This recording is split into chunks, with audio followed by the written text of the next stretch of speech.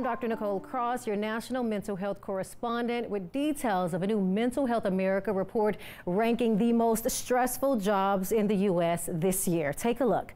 These are the top five most stressful jobs, ranging from a urologist to a phone operator. The rankings were based on positions that include high stress situations and accepting criticism. According to the report, 81% of workers surveyed said workplace stress affected their mental health last year. That is up from 78% in 2021.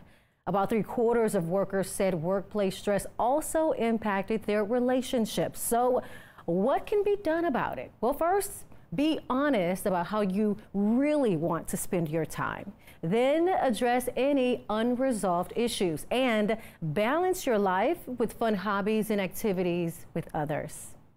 In the studio, I'm Dr. Nicole Cross, as always, looking out for your mental health.